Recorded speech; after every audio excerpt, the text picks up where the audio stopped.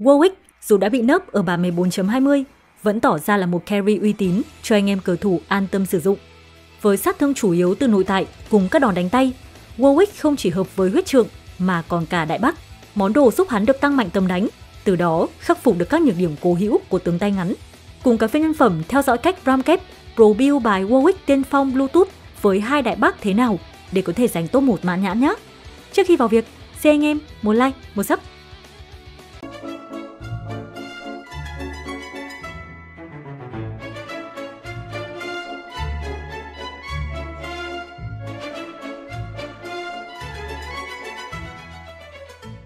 Game diễn ra ở cổng thưởng trang bị, nhận hai vàng mỗi khi ghép một đồ hoàn chỉnh. Ba đao quái đầu cho nước mắt, gậy và cung. Khởi động nhẹ nhàng với nâng cấp bạc, bỏ qua đường này mất kia do các mảnh đồ hiện tại đã có thể ghép. Băng trộm cũng khá ngon, nhưng do đang sẵn Warwick 2 sao, có thể hướng tới bài chó sói carry, nên đồ tạo tác từ lõi hay sẽ là lựa chọn đột biến hơn. Đang sẵn hai mảnh cuồng đao, Warwick hiện tại có thể cầm được khá nhiều đồ tạo tác chứ không chỉ mỗi huyết trượng. Thế bài đã quá đẹp, anh roll hai lõi còn lại cho đủ hình thức rồi nhanh chóng chốt lò rèn tiềm mẩn.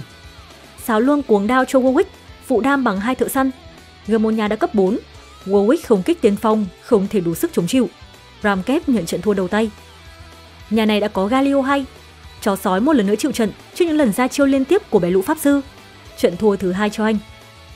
Gặp Robin sau bên kia sống rất vội khi đã lên 5.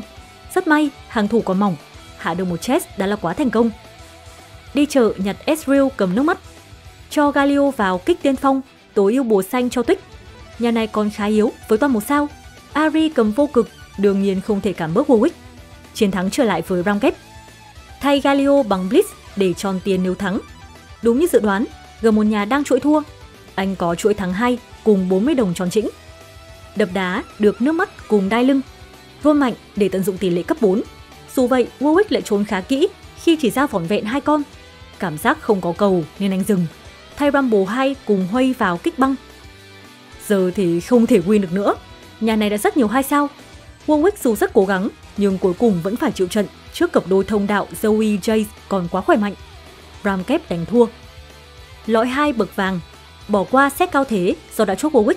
Hoa sen thì không hợp, hai lõi mới cũng không quá ngon. Anh quyết định đánh cược vào lò rèn thần thoại, lấy thêm một đồ tạo tác nữa để bổ sung sức mạnh cho sói. Giữa bốn đồ tạo tác thì chỉ có đại bác là Warwick có thể xài. Với món này, nó sẽ vừa có thêm tốc đánh, vừa có vị trí an toàn hơn, tránh bị khống chế trong bối cảnh đang không có kháng hiệu ứng. Nhà pháp sư này với dàn tiên phong 2 sao vẫn là thử thách quá khó khăn. Liên tục bị choáng bởi Galio, Warwick từ đó trúng tất cả các nốt cao từ Seraphine. Chưa hóa vàng thì tầm này phải trôi máu rồi anh em ạ. Có Pharaoh chất lượng với hai Warwick cùng Olaf đối đầu một nhà đang đép bằng thợ săn hóa hình, khóc mo một sao nâu đam. Warwick từ đó thoải mái cào xé giàn thủ, tiến xuống cây liễu nốt cặp đôi thợ săn, đem về chiến thắng. Đi chợ nhặt Ari cầm kiếm, gói trang bị tạo tác từ lõi đã tới, toàn đồ trôn, anh đành lấy thêm một đại bắc nữa. Warwick giờ không còn chạy tới cào xé nữa mà sẽ thành cỗ máy bắn phá tầm xa. Gặp nhà học giả đã có Rai, với lối build này, Warwick sẽ được đứng ở vị trí an toàn, né được sát thương từ carry địch, qua đó có mạng để tăng mạnh tầm đánh nhưng còn hai sao thì mọi lý thuyết đều vô nghĩa. Kết liệu xong hàng thủ thì sói ta phải chịu trận trước thông đạo cổ ngữ. Ram kép tiếp tục trôi. Eco thêm rau nữa để vừa có tiền vừa giữ chuỗi. Đối đầu nhà Huây với Modder hay. Các đòn đánh của Warwick chỉ như trứng trọi đá trước ác quỷ thiết giáp đã có hai đồ. Quân ta theo đó vụn vỡ rất nhanh trước các nét vẽ của Huây. Trận thua đau cho anh. Đàn sói rất chất lượng khi trả hai máy sao chép nhỏ, một máy sao chép xịn cùng hai mảnh găng Ron mạnh có được Warwick 3 sao. Lên cấp, thêm Modder, kích 4 tiên phong, Twitch cũng được dùng hai máy sao chép nhỏ để hóa vàng. Giờ thì đội hình đã mạnh hơn rất nhiều. Các nhà còn đang eco không phải vấn đề quá lớn.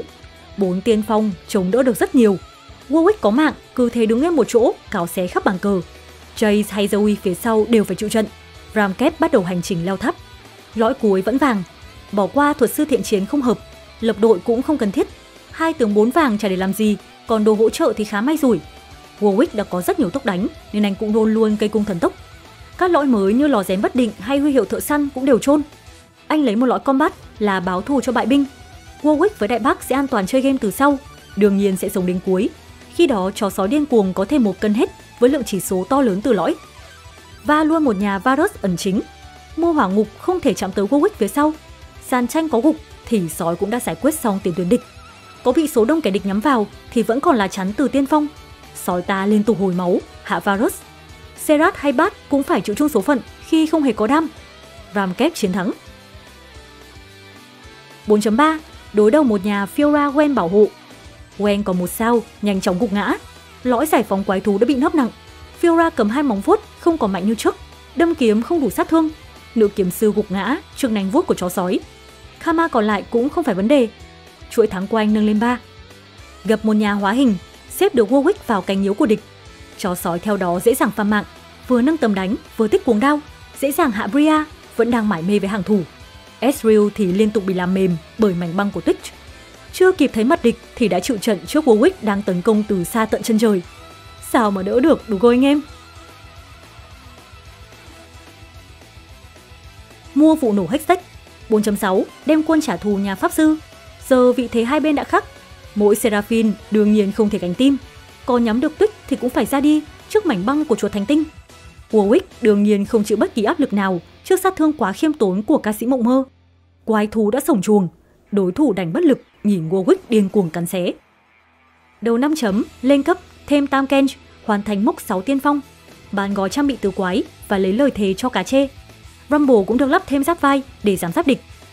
Chỉ phải gặp bóng nhà Rai học giả, không có đồ tranh khiến giản thủ vụn vỡ nhanh chóng. Rai cũng không đủ sức vượt qua lớp lá chắn to lớn từ 6 tiên phong.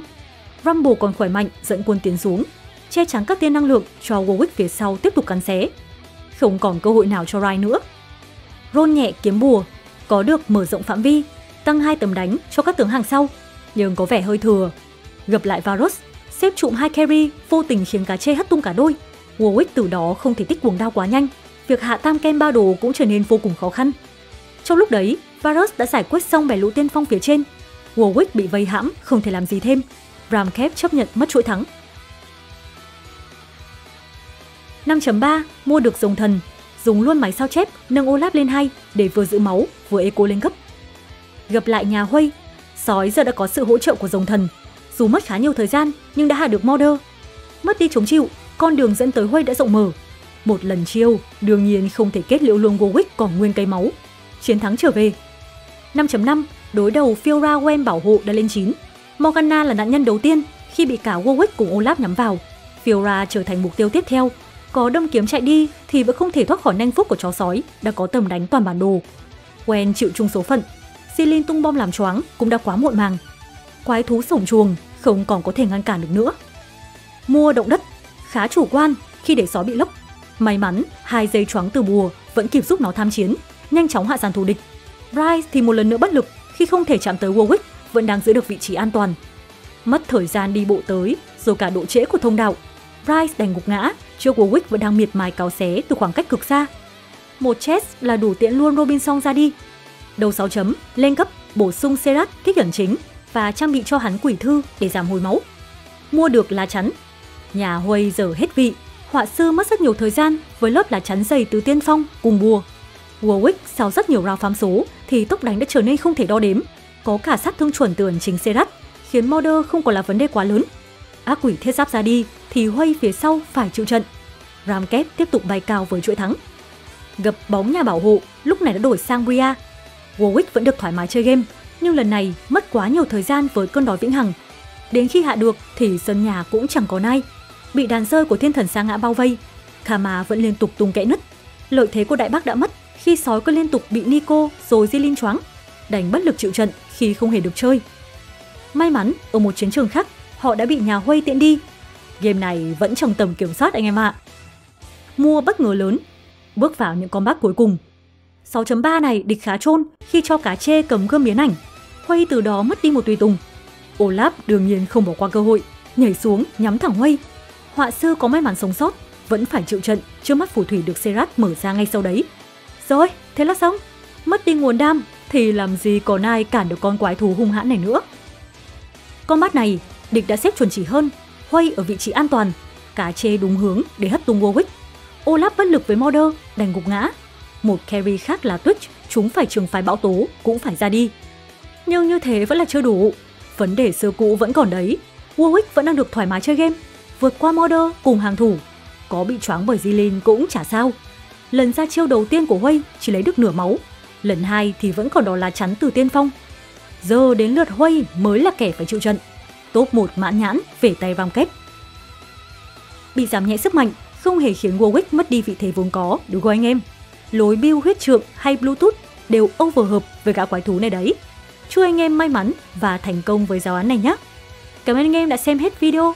Đừng quên một like, một share, một subscribe cũng như chuột vào nút chuông để không bỏ lỡ các video nhà cà phê nhân phẩm. Giờ thì tạm biệt và hẹn gặp lại anh em.